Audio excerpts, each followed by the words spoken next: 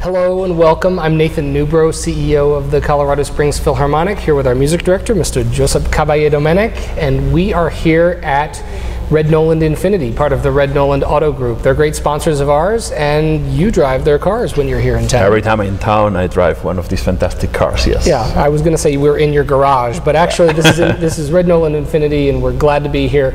So glad to have their support. And uh, but we're here today to talk about Prokofiev. Yes. The third piano concerto. I don't think he drove an Infiniti, but that's a mistake. he wanted to drive. He an wanted Infiniti. to. Yeah. So talk to us about, about this fantastic piece. I mean, it's it's as you say, the fantastic piece. It's one of the key uh, pieces of the piano literature of the concert piano players.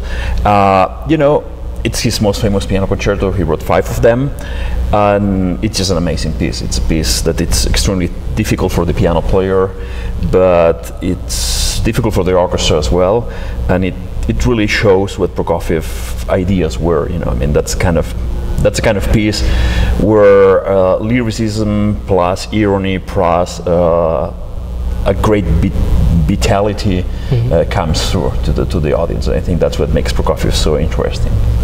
You mentioned that it takes it takes a great pianist Yes, to perform definitely. this, and we're, we're lucky to have Conrad Tao, who has a great relationship with you, a great relationship with this orchestra, on a return visit to Colorado Springs. Yes, uh, yeah. coming up we to had perform with us. Mm-hmm. we had the pleasure of knowing him like last year or two years ago, so two seasons ago, and so we are so happy that he agreed to come and, and play this great piano concerto with us. Very good, very good.